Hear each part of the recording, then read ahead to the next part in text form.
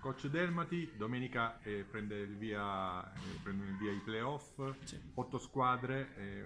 una squadra deve superare tre avversari per poter eh, sicuramente accedere alla, in A1. Con quale spirito la sua squadra affronta questi, questi playoff? Ma con lo spirito che abbiamo sempre avuto il campionato, quello che non ci poniamo dei limiti,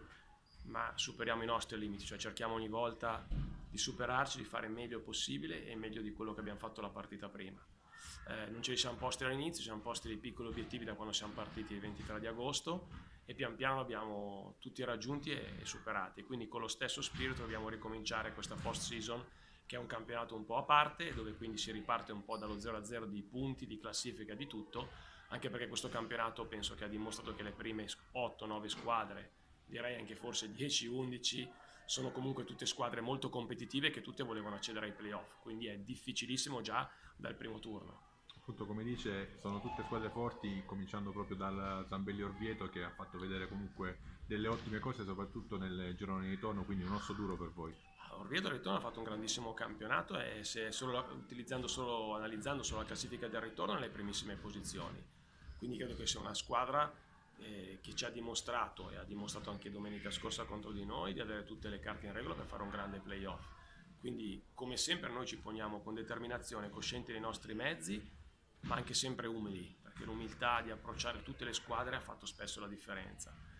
per il nostro campionato e quindi è importantissimo per noi affrontare ogni avversario come se fosse il primo della prima giornata di campionato con rispetto, con determinazione ma anche credendo molto in noi stessi perché abbiamo anche dimostrato dall'inizio del campionato ad oggi di essere una squadra che ha grandi valori sia tecnici che morali.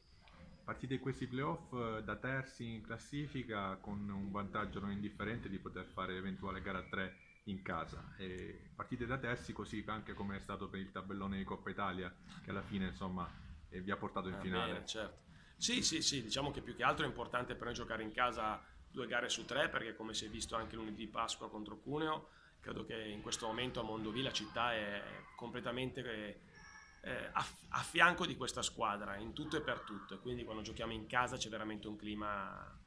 strapositivo, incredibile che aiuta tantissimo le ragazze e noi anche, specialmente quando facciamo un po' fatica c'è un momento di difficoltà. Quindi credo che per noi questa sia veramente una, una cosa di grandissimo valore, esserci guadagnati la possibilità di fare almeno se riusciamo due turni in casa, poi si vedrà e anche dopo il primo bisogna guadagnarsi il secondo turno, però il fatto di poter giocare in casa almeno le belle dei primi due turni per una cosa molto importante. Tifosi che si stanno già organizzando anche per la trasferta di Orvieto sicuramente può essere l'arma in più per questa squadra. Sì, quest'anno ci hanno seguito tante partite fuori, mi ricordo per esempio a Marignano che hanno fatto un grandissimo tifo, una partita molto difficile nel ritorno che abbiamo vinto da 3 a 1, quindi la loro presenza fuori casa è una cosa veramente unica in questo campionato credo e quindi per, per tutti noi ha un, valore, non dico superiore che in casa perché in casa ci sono mille persone a partite, però ha un valore emozionale altissimo, indipendentemente da quanti sono a venire con noi in trasferta, perché fare un sacrificio del genere per starci vicino in questa categoria è una cosa direi veramente unica. Grazie. Grazie a voi.